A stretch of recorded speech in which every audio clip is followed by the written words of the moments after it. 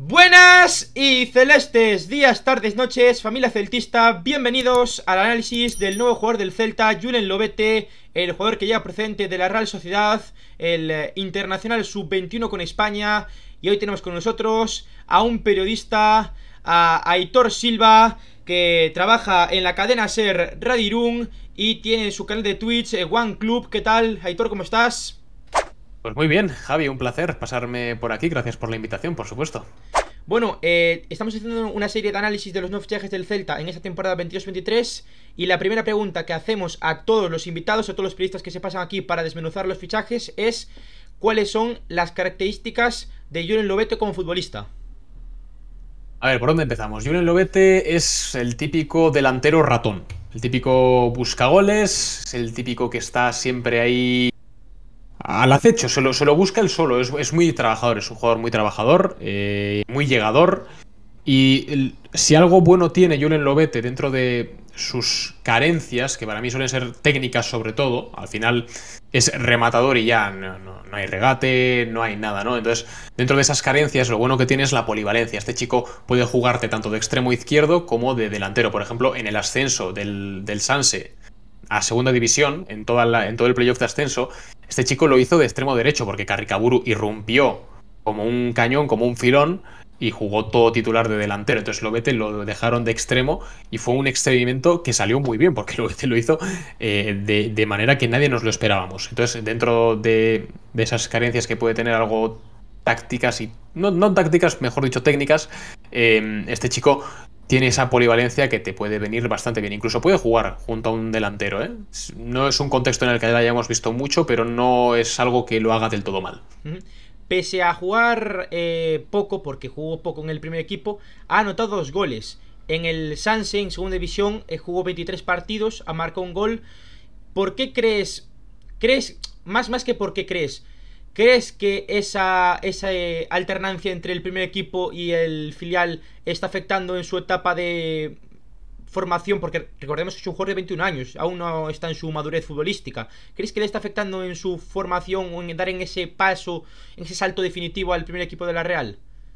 Ha sido uno de los temas a tratar, uno de los temas estrella este año. Eh, los chavales del Sanse que no jugaban con el Sanse, subían con el primer equipo y luego no jugaban. A Lobete le ha pasado bastante este año, le ha pasado también a Nice, le ha pasado a Turrientes, le ha pasado a, Pacheco, aunque bueno, efectos prácticos era del primer equipo.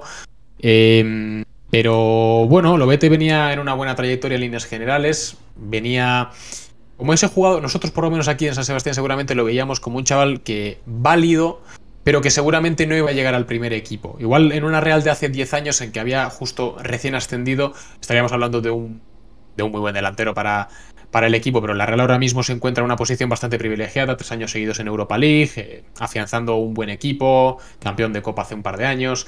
Ya la Real está, vamos a decir, igual en otra liga que hace, pues eso, hace 10 años que estábamos recién ascendidos. Y lo vete, pues sí, la verdad que venía bastante bien pero eso, no tenía esos visos de que seguramente iba a llegar al, primer equipo.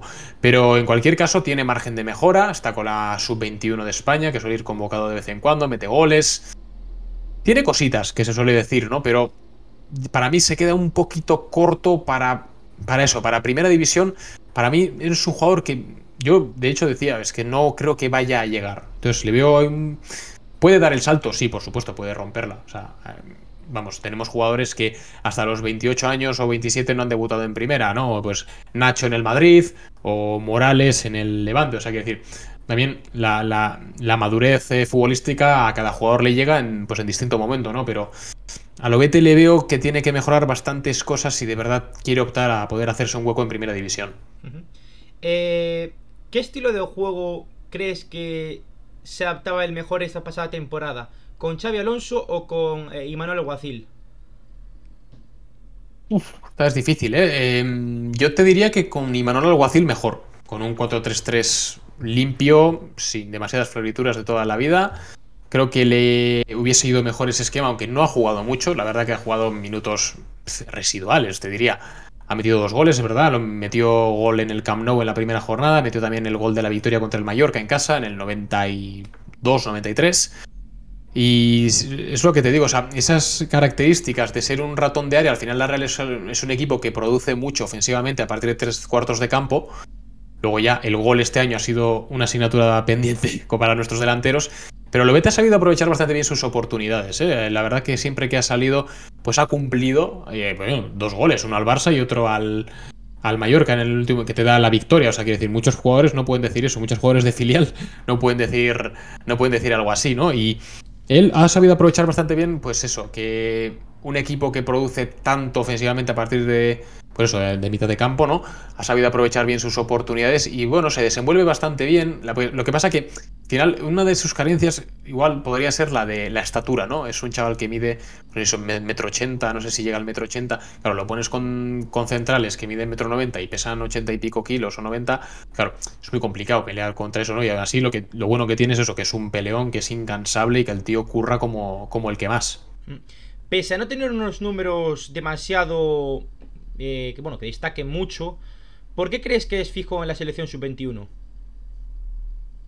¿Por qué creo que es fijo en la selección sub-21? Buena pregunta. Mm, yo creo que es por lo que te he dicho antes, ¿no? Por esa insistencia, por ese trabajo. O sea, es un chaval que no te va a dar ni esto si no, si no, te lo puede dar. O sea, lo va a pelear todo. Va a pelear hasta balones que sabe que no va a llegar. Porque sabe que en algún momento, en alguna ocasión de las mil, pues una le saldrá bien, el defensa se resbalará o el portero la liará o lo que sea y él será el que llega a ese balón. O sea, es un trabajador incansable, eso vamos, eh, por descontado.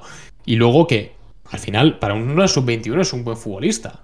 Vamos a ver, o sea, la sub-21 encima también al final van chavales que, pues que les ven eso, eh, aptitudes, capacidades, ¿no? Capacidad de, de, poder hacer algo interesante y los llevan también para probarles. Lo vete desde hace medio año más o menos está siendo bastante fijo, lo cual mm, pues bueno, eh, también indicativo de lo bien que se hacen las cosas en Zubieta, ¿no? En, la Real con los canteranos. También está por ahí Turrientes, está por ahí eh, Urco González de Zárate. O sea, la verdad que en ese aspecto también la Real siempre lleva un buen número de, canteranos. Y lo vete, pues sí, sí, la verdad que lo está haciendo bastante bien. Los partidos que le veo de la sub-21, que tampoco son muchos, porque no me da la vida.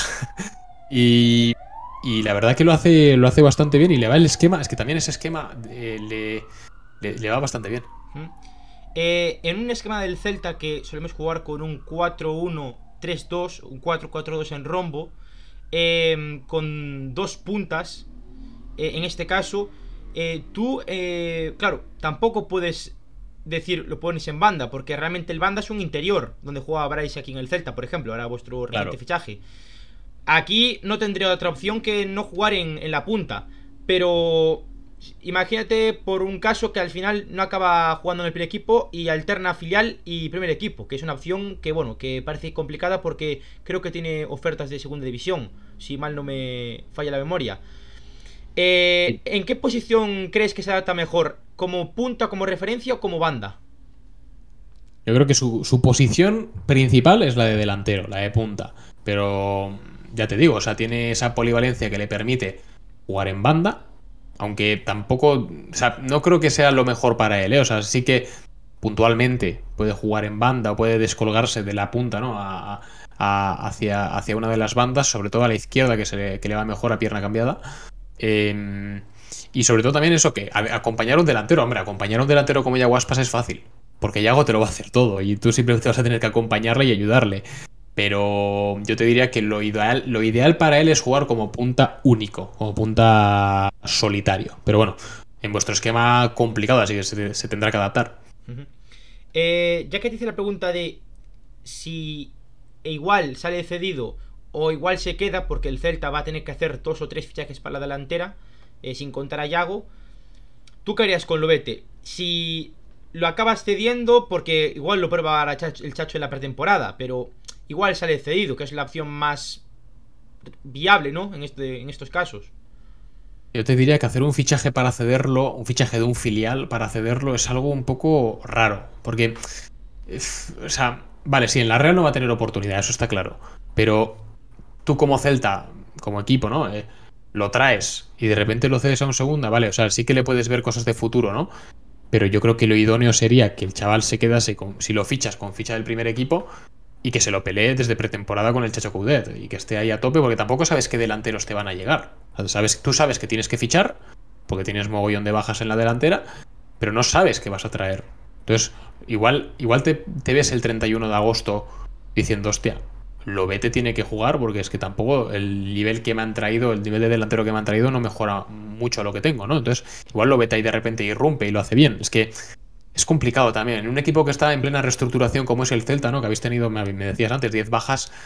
Eh, luego es complicado quedarte con uno u otro jugador, ¿no? Entonces ahí también va a ser, va a ser interesante seguiros este año, ¿eh? Porque creo que el Celta puede salir o muy bien o puede salir igual muy mal, ¿no? Que igual estéis en la pelea eh, del descenso, ojalá que no, eh, por supuesto, pero mm, eh, este, este, tipo de reestructuraciones tan grandes a veces acarrean problemas bastante gordos. Te pongo un poco, un poco en contexto. el Celta este año, em, bueno, perdió a su director deportivo, Felipe Miñambres, que se fue al Levante, y el Celta ha conseguido como asesor externo a Luis Campos, que es uno de mm. los mejores directores deportivos del mundo, en este caso.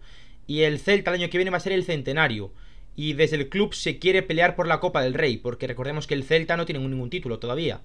Por tanto, se quiere pelear por un título y se quiere hacer una apuesta importante y por tanto, por eso la venta de Bryce a la Real Sociedad, eh, por eso pues la venta de Néstor Raujo a Club América y, la mm, propuesta es traer jóvenes eh, con talento que un poco hagan que el nivel del club un poco vaya creciendo, un poco parecido a lo que habéis hecho vosotros o lo que ha hecho el Villarreal, que son para, para mí, tanto la, Villarreal como la Real Sociedad, son los dos clubes modelos a los que se tiene que fijar el Celta en el futuro. Bueno, en el futuro o en el presente, en este caso ya. Te diría que más se, parezca a la Real porque el Celta no va a poder soltar 25 kilos por Danjuma. No, no, no, hombre, no. Pero sí, al final, eh, vosotros también sois muy de tirar de cantera, sois muy de tirar de los chavales de abajo. Eso al final pues es importante porque ahí te puedes ahorrar un buen dinero y aparte sacar perlas. Vosotros habéis sacado a Yago Aspas, habéis sacado a Hugo Mayo, habéis sacado a Bryce Méndez, habéis sacado chavales que son de primerísimo nivel. Entonces, eso es importante que os fijéis en ese. en ese. Pues en esa política, ¿no? De la Real Sociedad.